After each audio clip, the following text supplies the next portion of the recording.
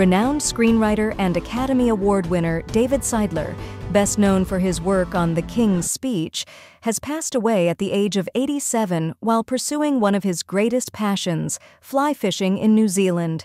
The news of his demise was confirmed by his longtime manager on Sunday, marking the end of a prolific career that left an indelible mark on the world of cinema. Seidler's journey to cinematic acclaim was not without its challenges. Born with a stutter, he found solace and inspiration in the story of King George VI, whose own struggles with speech became the cornerstone of the King's Speech. Through his meticulous research and heartfelt storytelling, Seidler brought to life the unlikely friendship between King George VI and speech therapist Lionel Logue, a narrative that resonated with audiences around the globe. The success of the King's speech was a testament to Seidler's dedication and perseverance. The film swept the Oscars, winning accolades for Best Picture, Best Director, and Best Actor.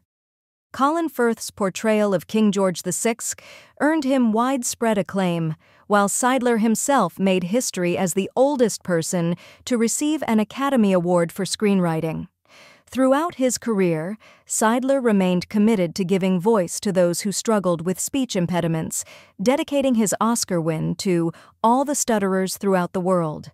His poignant acceptance speech acknowledged the Queen's support and humorously reflected on his delayed success, echoing his father's belief in his status as a late bloomer. Beyond the King's speech, Seidler's body of work spanned multiple genres and mediums. From historical dramas like Onassis, the Richest Man in the World, to biographical tales such as Tucker, The Man and His Dream, Seidler demonstrated a versatility and depth of storytelling that captivated audiences worldwide. Even as he achieved international acclaim, Seidler remained humble and grateful for the opportunities that came his way. His dedication to his craft and unwavering passion for storytelling served as an inspiration to aspiring writers and filmmakers alike. As the curtain falls on David Seidler's remarkable life and career, his legacy will endure through the timeless stories he shared with the world.